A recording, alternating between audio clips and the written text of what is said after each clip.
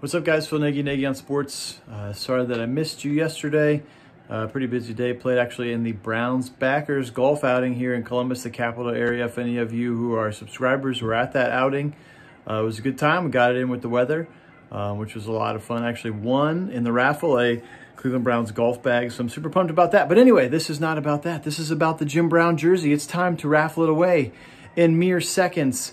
Kit will give me a number between 1 and 30. Here are the people you can see who have been randomly assigned for this particular drawing. So, Kit picks, drum roll, number 17. Let's go see who it is. 17.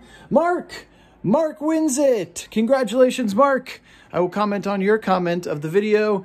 If you could send me your address and your information, I will send you that Jim Brown jersey. Congratulations, Mark. Also, literally, as soon as I'm done making this video, we're going to get week six going on our coulda, woulda, shoulda stream. Go Browns!